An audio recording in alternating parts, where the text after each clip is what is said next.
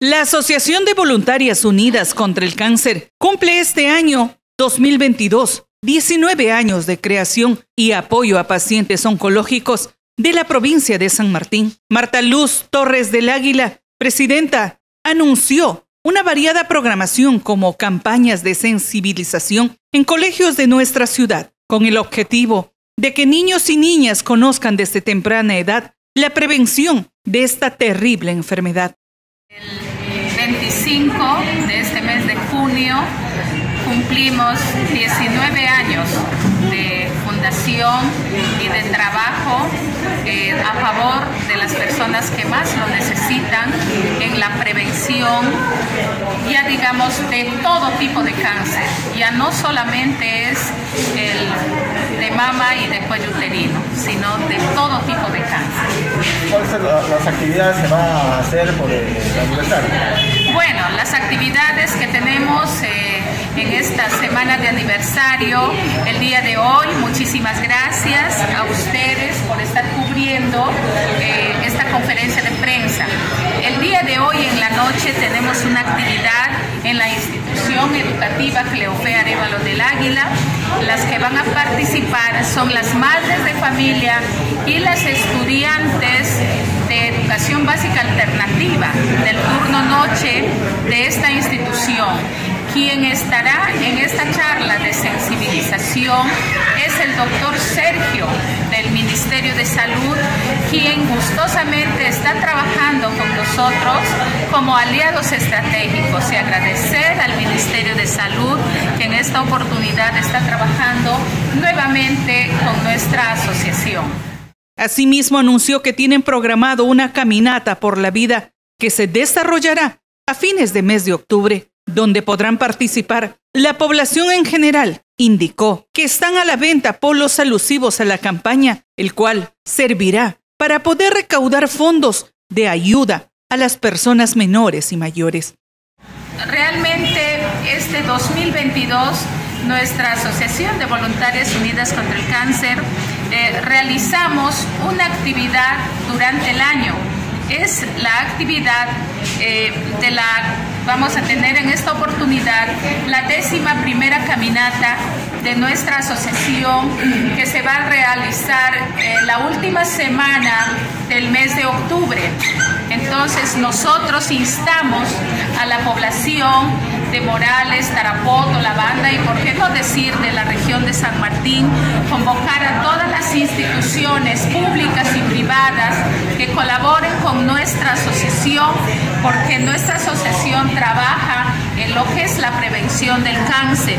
Y nosotros somos una institución sin fines de lucro que realizamos esta caminata y realizamos en esta caminata la venta de estos polos que ustedes, de este polo que no, ustedes están observando.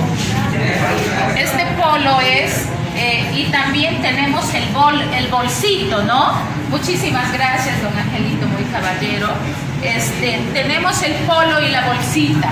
El polo cuesta 25 soles y la bolsita cuesta 13 soles. Nosotros estamos muy agradecidos a todas las instituciones que colaboran con la Asociación de Voluntarias Unidas contra el Cáncer. Nosotros estamos muy cerca trabajando con las personas que necesitan del apoyo. Eh, trabajamos lo que es la prevención y estamos listas para ir al lugar donde nos invitan y donde nos necesita la población. Realmente estamos muy agradecidos. Les, les dije de que eh, la última semana del mes de octubre es nuestra caminata. Finalmente, la presidenta de las Voluntarias Unidas contra el Cáncer refirió que son 18 mujeres que forman parte de la asociación y seguirán trabajando en la prevención del cáncer. Nosotras somos 18 integrantes de nuestro voluntariado. Realmente estamos muy contentas y agradecidas. Ustedes se han dado cuenta que en nuestro grupo también tenemos mujeres que están luchando contra este terrible mal.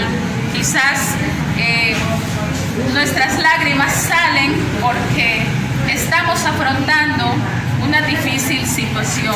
Ustedes no se imaginan que tan valientes somos las mujeres, pero que al final sabemos que Dios está con nosotros porque Él es el quien gobierna nuestras vidas. Y Dios está con nosotros, nos ha puesto en el camino a nosotras las mujeres con ayuda del Ministerio de Salud y de muchas instituciones de salud que colaboran con esta Asociación de Voluntarias Unidas contra el Cáncer. Eh, también se ha comentado también en la conferencia de prensa que se va a realizar también charlas para los estudiantes de los colegios. ¿Comentado eso?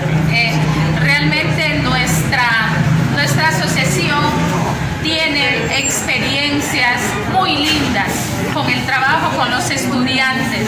Realmente, eh, así como nos ven a las mujeres ya de diferentes edades, somos mujeres con experiencia que cuando nosotros les hablamos a los jóvenes y a las señoritas de, que ahora ya no es un tabú, ¿no? Ahora eh, los jóvenes y las señoritas están dispuestas a hacerse su prueba. Entonces nosotros nos vamos a las instituciones educativas, hacemos todas las coordinaciones con nuestros aliados estratégicos para realizar esta prevención a los estudiantes.